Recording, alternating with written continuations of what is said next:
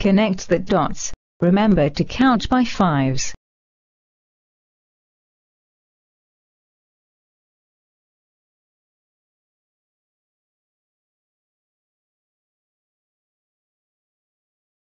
The dots aren't connected by fives. 25 30 35 40 45 50